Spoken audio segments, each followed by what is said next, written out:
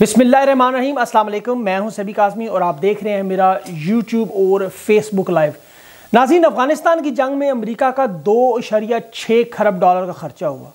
सब लोग सोच रहे हैं कि इतना पैसा अमेरिका ने अफ़गानिस्तान में लगा दिया तो अमेरिका का तो दिवालिया क्यों नहीं निकला? क्यों अभी तक अफगान अवाम गुर्बत से नीचे है? दो डॉलर दो डॉलर रोज़ाना से कम कमाई है। जिस मुल्क में दो खरब डॉलर आया हो उस मुल्क में खुशहाली क्यों नहीं नज़र आ रही? वहाँ पर क्यों नहीं लोगों के पैसा उनके पास? क्यों गुर्बत ख़त्म नहीं हुई? ये दो शरीय छः खरब डॉलर जब अफ़गानिस्तान में आया तो ये किसके पास आया? ये पैसा गया किधर?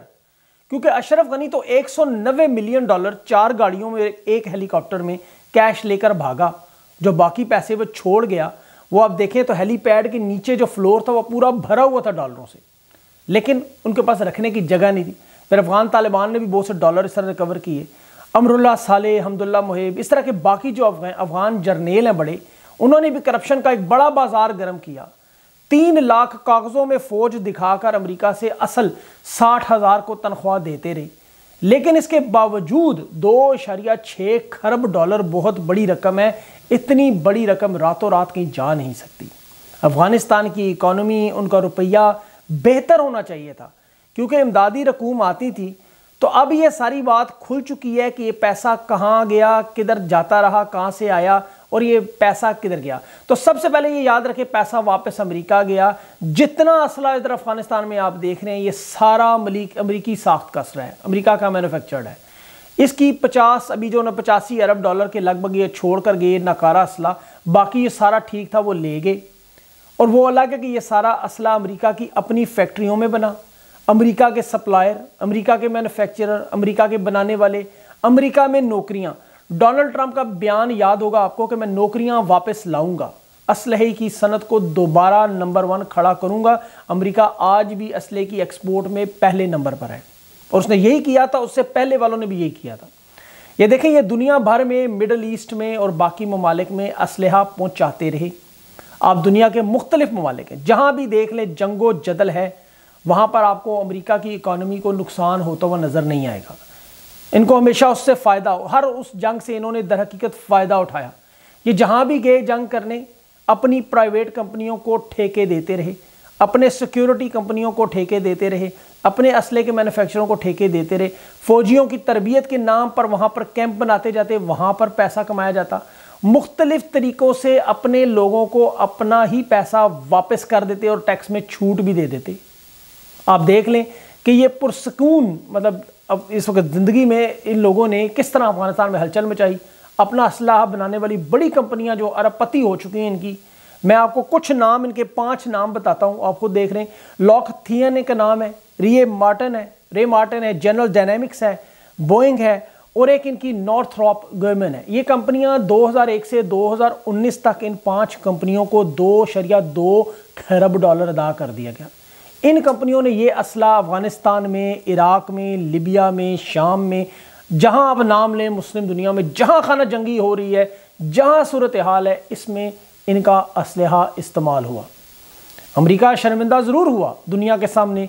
सुपर पावर का लफ्ज़, सुपर पावर हट गया, अब सिर्फ़ सादा अमेरिका रह गया अब एक मुल्क रह गया लेकिन ये जिस काम की रियायत है, वो कर गई और वो काम क्या था? इनकी स्टॉक एक्सचेंज मार्केट आप देखें, इनकी वो कंपनियाँ देखें जो कि सितंबर 9 11 के हमले में बुरी तरह नुकसान में थी, सिर्फ़ 10 दिन के बाद। सिर्फ़ 10 दिन के बाद उनके फिगर्स उठा के और आज आप उनके शेयर्स की कीमत चेक करें, उनके स्टॉक की कीमत चेक करें, आप हैरान होंगे, वो अरबों में जा चुकी हैं। ये धंधा, ये लंबी जंग जितना चले, उतना उन्हें फ़ायदा देती है। और इस गंदे धंधे में अमरीकी सियासतदान, अमरीकी असलहा के डीलर इवन के वाइट हाउस शामिल है और ये इनके विसल ब्लोअर खुद ये बात कर रहे हैं। लोगों ने खुद इनके अंदर से बातें निकाल रहे हैं।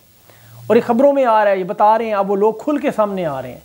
देखें इसके, और इससे पहले 2011 में विकी लीग्स के बानी जूलियन साँझ ने भी ये बात बता दी थी। लेकिन उसके बाद उस बेचारे का इंजाम क्या हुआ? कि वो एक अम्बेसी में ही कितने सालों से वहाँ पर कैद निकल नहीं सक रहा, एक्वाडोर की अम्बेसी में। अब ये बात साबित करती है कितने ताकतवर लोग हैं कि हर बोलने वाली आवाज़ को खामोश करा देते हैं। तो अमेरिका की इन कंपनियों कंपनियों को टैक्स में भी छूट मिली। इनके लिए फ्री टैक्स हेवन बना अफ़गानिस्तान। ये याद रखिएगा लफ्ज़ फ्री टैक्स हेवन यहाँ से पैसे बचाते थे। और जिन लोगों को अमरीकी बड़े ईमानदार लगते हैं, वो भी ये सुन लें कि 11 अरब डॉलर का वो बड़ा खांचा भी इसमें लगा गए अफ़गानिस्तान की रिकन्स्ट्रक्शन के नाम पर जो इन्होंने किए डैम्स बनाने थे, रोड बनाने थे यूनिवर्सिटियाँ बनानी थी कॉलेज बनाने थे, वो सब किधर गए? उसमें अमरीकी सियासतदान तो अमीर से अमीर तर हो गया, लेकिन अफ़गानिस्तान गरीब से गरीब तर हो गया। आप इनकी सिर्फ़ एक मिसाल सुन ले, आपको सारी बात समझ आ जाएगी। अफ़गानिस्तान के फौजियों की वर्दियाँ आप ज़रा गौर से देखें। ये वो वर्दी है जो जंगलात में, जहाँ पर रकबा बड़ा हो, वहाँ पर कैमोफ्लाज के तौर पर जंगलात में ये वर्दी इस्तेमाल होती है। और इस वर्दी को बड़ी महँगी वर्दी बनती है। लेकिन इस वर्दी को बनाने वाले ने खुद बताया कि अफ़गानिस्तान में तो सिर्फ़ दो फ़ीसद जंगलात हैं, जबकि वर्दी की मद में अरबों डॉलर जो कमाए गए, वो कहाँ गए?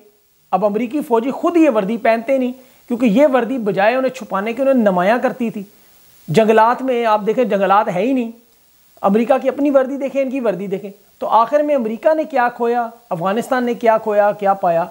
अफगान अवाम को क्या मिला? अमरीकी अवाम को क्या मिला? ये 20 साल की जंग किस तरह अमेरिका को अमीर से अमीर तर बना गई और अफ़गानिस्तान को गरीब से गरीब तर बना गई? ये देखें, ये बहुत बड़ी गेम थी। लेकिन जितना मर्ज़ी पैसा ये कमा लें, जो ज़िल्लत रसवाई दुनिया में जिस तरह वियतनाम के बाद इनके हिस्से में आई, इराक के बाद इनके हिस्से में आई, अब अफ़गानिस्तान में उसका कोई नेमल बदल नहीं। ये बात बिल्कुल पत्थर पे लकीर की तरह, माल आपने कमा लिया, इसमें कोई शक नहीं। लेकिन हालत आप चाहे वो अरब दुनिया में जाएँ, चाहे वो किसी भी और मुसलमान मुल्क में जाएँ, वहाँ पे भी चढ़ाई कर दें, कहीं पे भी चले जाएँ, वहाँ पर लेकिन आपका काम असल में यही है कि आपने असलहा अपना बेचना है, अपनी ही कंपनियों को बेचना है, और ये शुरू दिन से इसी तरह ही हो रहा है। पहले किसी मामले पर जंग शुरू की जाती है, फिर उसका बहाना बनाया जाता है, फिर वहाँ पर अमरीका चढ़ाई कर देता है। चढ़ाई करने के बाद उस मुल्क के सारे रिसोर्स भी निकाल लेते हैं। वहाँ पर सारे मिनरल्स सारे उनका तेल, जो रिसोर्स उस मुल्क के हों निकाल लिए जाते हैं और उसके बाद अमेरिका वहाँ पर अपनी ही कंपनियों को ठेके देता है, अपने ही सिक्योरिटी गार्ड अपना ही असलहा, वो सारा वहाँ ले जाकर उन लोगों पर आजमाया जाता है, इस्तेमाल किया जाता है। और उसके बाद उन, उसी मुल्क को दोबारा ये बनाते हैं और बनाने के दौरान भी फिर अपनी दोबारा बिल्डिंग की कंपनियाँ भी आ जाती हैं। वहाँ लोगों को तरबियत भी खुद देते हैं। टैंक भी इनके, गाड़ियाँ भी इनकी, बंदूकें भी इनके, फ़ौजी भी इनके, तरबियत वाले भी इनके। तो ये सब कुछ देने का मकसद सिर्फ़ और सिर्फ़ इनको अपनी इकानमी को चलाना और इसी को ये सुपर पावर का नाम देते हैं। लेकिन अब इनका खेल जो है वो इंजाम की तरफ़ जा रहा है, क्योंकि अब दुनिया के नए ब्लॉक सामने आ रहे हैं। चीन उसमें सर फहरिस्त है और चीन की कोशिश है। ये लोग इल्ज़ाम लगाते हैं कि चीन पाकिस्तान को कर्ज़ा देकर, पाकिस्तान को एक कर्ज़े के नीचे दबा रहा है। हालाँकि ख़ुद अमेरिका ने जितना चीन का कर्जा देना है, आपकी सोच से बाहर उस पर मैं इंशाल्लाह फिर किसी वक्त पूरा डिटेल में एक प्रोग्राम आपके सामने रखूँगा कि इस वक्त अमेरिका चीन के कितना नीचे दबा हुआ है। अपना बहुत ज़्यादा ख्याल रखें और चैनल को लाइक, शेयर, सब्सक्राइब ज़रूर करें। अगली वीडियो तक के लिए मुझे इजाज़त दें। अल्लाह